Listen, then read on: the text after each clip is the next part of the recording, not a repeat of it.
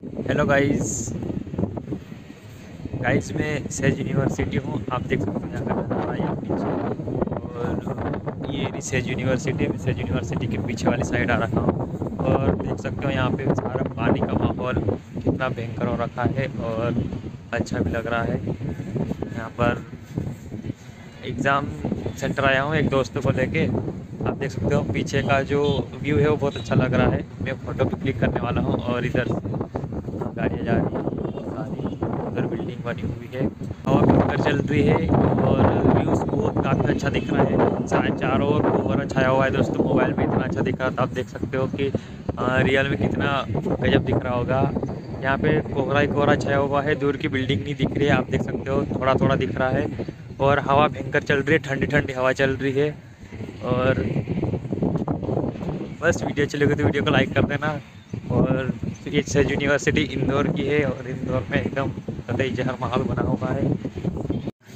ये इधर ग्राउंड है दोस्तों, यहाँ पे सारे लोग बागवान बैठे हुए हैं एग्ज़ाम देने वाले एग्ज़ाम कॉन्स्टेबल के एग्ज़ाम हो रहा है, वो देने के लिए आए हुए हैं। और देख सकते हो यहाँ पे पार्किंग है। ये और सेज यूनिवर्सिटी में आपको बताता हूँ, सेज यूनिवर्सिटी एक पहाड़ पे बनी हुई है तो काफ़ी अच्छा व्यूज़ होता है दोस्तों यहाँ से देखने में। और इधर ये बना हुआ है और सेज यूनिवर्सिटी दिखा देता हूँ मैं आपको। ये भी सेज यूनिवर्सिटी एक पहाड़ पे दूर से बहुत ही अच्छी दिखती है। तो गाइज़ यहाँ पे दो ब्लॉक है। दो ब्लॉक में एग्ज़ाम होती है। मैं आपको आगे जाके बताता हूँ सेज यूनिवर्सिटी का व्यूज़ यहाँ पर देख सकते हो, ये एरिया हमारे सेज यूनिवर्सिटी और यहाँ लोग बैठे हुए हैं, और यहाँ से स्टार्ट होती है पूरी हमारे सेज यूनिवर्सिटी ये आप देख सकते हो, ये सेज यूनिवर्सिटी ये और ये इसका मेन गेट है। यहाँ से अंदर जाते हैं, अंदर जाने के बाद फिर अंदर दो ब्लॉक है, एक इधर वाली साइड है और एक इधर वाली साइड है। गाइज़ हम आके मैं बैठ गया हूँ एक साइड में और ये इंदौर से काफ़ी दूरी पे है सेज यूनिवर्सिटी एकदम पहाड़ पे बना हुआ है। मैं आपको इंदौर बता देता हूँ, दिखेगा तो नहीं, कोहरा है सारा। पर बैक कैमरे में बताता हूँ कितना है इंदौर, कितनी दूर है, शायद दिख जाए। आप देख सकते हो, यहाँ पर थोड़ी सी बिल्डिंग्स दिख रही है दोस्तों। कोहरे के अंदर दिख रही है थोड़ी सी। इसके भी उधर है दोस्तों, ये तो आ, बोल सकते हो एक बाईपास रोड पे देवास रोड पे। तो इंदौर में रहने वाले और एग्ज़ाम देने वाले स्टूडेंट को पता स्टूडेंट को पता होगा कि सेज यूनिवर्सिटी है एग्ज़ाम देने आते हैं यहाँ पे। इसका लोकेशन और यहाँ पे बड़ी बड़ी बिल्डिंग्स दिख रही है इधर भी देख सकते हो। और मैं सेज यूनिवर्सिटी के नीचे बैठा हूँ पहाड़ पे वो ऊपर है और मैं नीचे बैठा हूँ आराम से।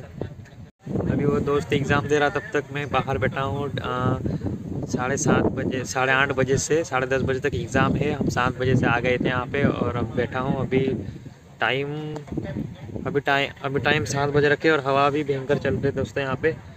बाल इधर उधर उड़ रहे हैं। दोस्तों अब छुट्टी होने वाली अब हम जाएँगे अपने घर। ठीक है? छुट्टी हो जाएगी थोड़ी देर में, फिर जाएँगे घर। वैसे साढ़े दस बजे छुट्टी होती है, दस छुट्टी होने के बाद बायोमेट्रिक भी होता है, उसमें आधा घंटा लगता है मतलब ग्यारह बजे के समथिंग छुट्टी हो जाएगी। फिर जाएँगे हम अपने घर। भाई से आए थे सुबह सुबह, एक भाई की बाइक थी, उसके पास बाइक मांगे और आए। और अभी वापस जाएँगे एग्ज़ाम होने के बाद। वीडियो अच्छी लगी तो वीडियो को लाइक कर देना और इस चैनल को सब्सक्राइब करके बेल वाला आइकन ऑन कर देना। मिलते हैं नेक्स्ट व्लॉग में। हाँ दोस्तों अब जा रहे हैं अपने रूम पर और सेज यूनिवर्सिटी आप देख सकते हो, और पहाड़ पे गाड़ियाँ बहुत सारे आ रही है, पर आपको उसका नाम दिख जाएगा सेज यूनिवर्सिटी आप देख सकते हो ये, और अभी हम जा रहे हैं अपने घर की और अपने रूम पर जा रहे हैं।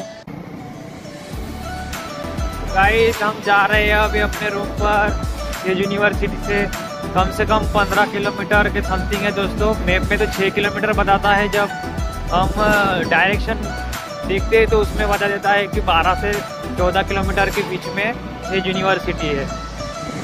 तो मैप के भरोसे मत रहना कि इतना किलोमीटर है तो चालू पहुँच जाएँगे उसका डायरेक्शन ऑन करके देखना। तब पता चलता है कि रियल उसकी डिस्टेंस कितनी है। तो अब जा रहे हैं रूम पर।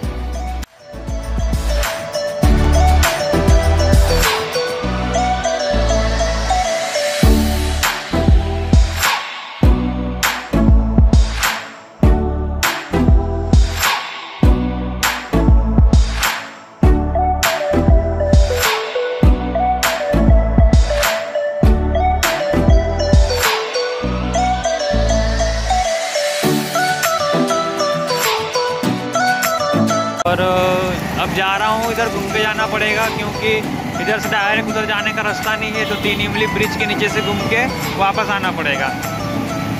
तो आ गए हम यहाँ पे चितावत यहाँ पे चितावत बोलते इसको, और इधर वाली साइड ये विशेष जुपिटर हॉस्पिटल है, जो कि अभिनव नगर में है। अब तीन इमली ब्रिज पे घूम के आना पड़ेगा।